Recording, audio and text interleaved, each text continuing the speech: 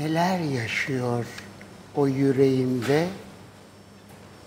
ve bunları notalara dökebiliyor. Evet Bülent evet. Büyük hassasiyet. Çok önemli efendim. Çok, çok önemli. Çok teşekkür ederim. Öyle kolay değil. Ellerinize sağlık. Estağfurullah efendim sizden. de Güzel kalp, güzel kalpli Hakan'cığım. Ee, bu arada e, değerli şefinizin sevgili kardeşimiz e, Udun'u çağırdım. Kendisine Evet. teşekkür Aa, ederim. Bu arada sizin, Evet. canım. sizin müzisyen e, Onur ekibinizin müzisyenlerine de çok hoş geldiniz demek. Hoş geldiniz Hepsine sizler. ayrı ayrı. Çok mutlu olduk. Çok mutlu olduk. Hoş geldiniz. Ya.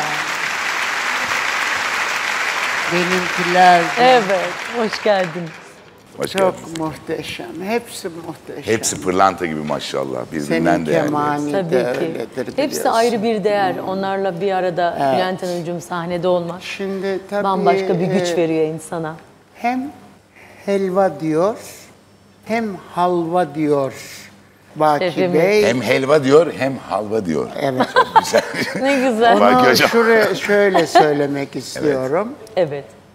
Her türlü musiki kalıbında e, son derece ustalıkla icra sanat eğiliyor Evet.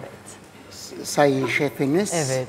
Evet. Efendim bilhassa Evet. ama bilhassa klasik musikide Osmanlı musikisindeki hakimiyeti takdire şayan. Onu öyle herkes pek beceremez.